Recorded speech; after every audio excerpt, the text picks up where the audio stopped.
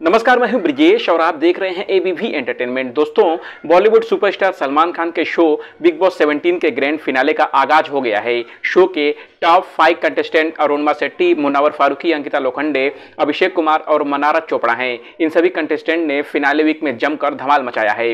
हालाँकि, अब इनमें से एक का सफ़र खत्म हो गया है। आइए, इस रिपोर्ट में जानते हैं कि कौन सा सदस्य बिग बॉस सेवनटीन के फिनाले में पहुंचकर बाहर हो गया है। बिग बॉस तक ने अपने ट्विटर अकाउंट पर एक ट्वीट किया है, जिसमें यह दावा किया गया है कि अरुणबा शेट्टी अब ट्रॉफी की रेस से बाहर हो गए हैं। इस खबर के सामने आने के बाद सोशल मीडिया पर हलचल बढ़ गई है। उनके फैंस का दिल टूट गया है। बता दें कि इसी के साथ बिग बॉस 17 को अपने टॉप फोर मिल गए हैं। इस लिस्ट में अभिषेक कुमार मुनवर फारूकी, अंकिता लोखंडे और मन्नारा चोपड़ा का नाम शामिल है।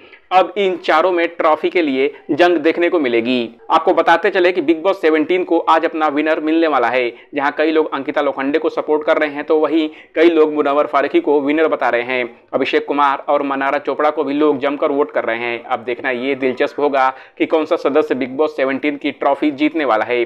आपका इस पर क्या कहना है कॉमेंट कर हमें ज़रूर बताएँ। बिग बॉस के और अपडेट के लिए जुड़े रहें। एबीवी एंटरटेनमेंट के साथ नमस्कार।